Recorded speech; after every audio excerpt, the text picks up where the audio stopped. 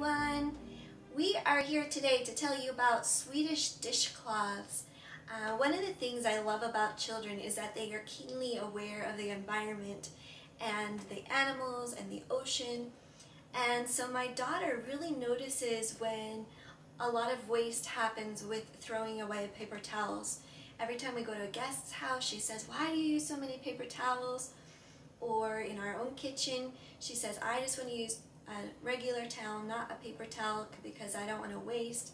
When she uses the restroom, she just wants to use the air dry because she does not want to waste any paper towels. I have done that. And so Audrey's going to tell us a little bit about why we should use uh, something more environmentally friendly and try not to use paper towels.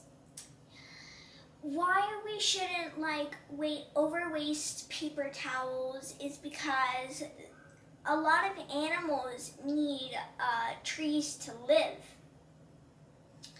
And if we run out of trees, um, animals may die because they don't have a shelter and we'll run out of oxygen.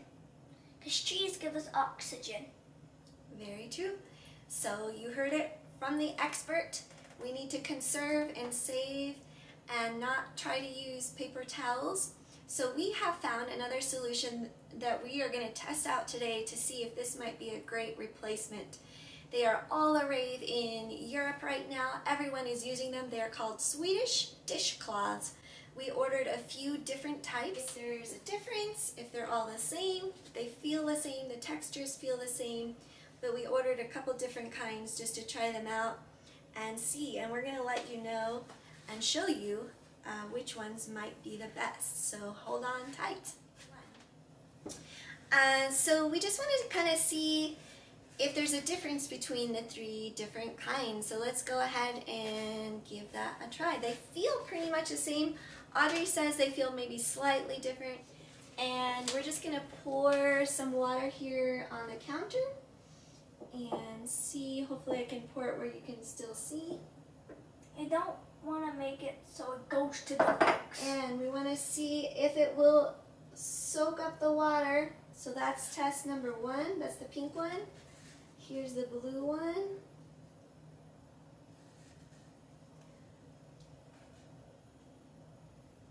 The blue one got barely wet and it totally prevented any kind of spillage. Um, so it's just a little wet it's a little wet on the front. But it definitely soaked up everything. And the pink one got a little more of the water, um, but it soaked up everything as well. So you could have definitely just used one of those dishcloths to get all of that water up. So I think that that might be a really good solution. Um, Let's try the apple cherry one. The apple cherry one. And what I also understand is that these are machine washable. You can, all three of these brands, you can wash them in the dishwasher, wash them in the washing machine, and you can reuse them. So potentially you could use them for years and just keep reusing them instead of wasting paper towels every single time. Um, alright, so you want to try the apple one? Yeah, so sure enough you can do, get it all up with just one dishcloth. let's see how the paper towel does.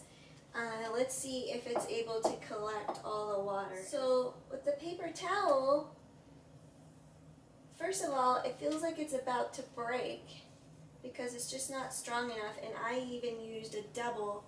I doubled up and folded it.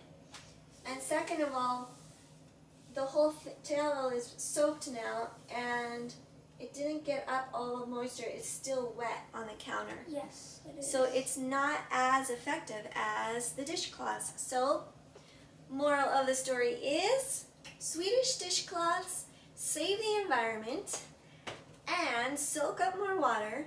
They're biodegradable. You can wash them in the dishwasher or the washing machine. All right, so um, we're going to keep um, trying them out in our kitchen and we'll let you know if we have any updates or anything changes, but so far they're looking pretty good.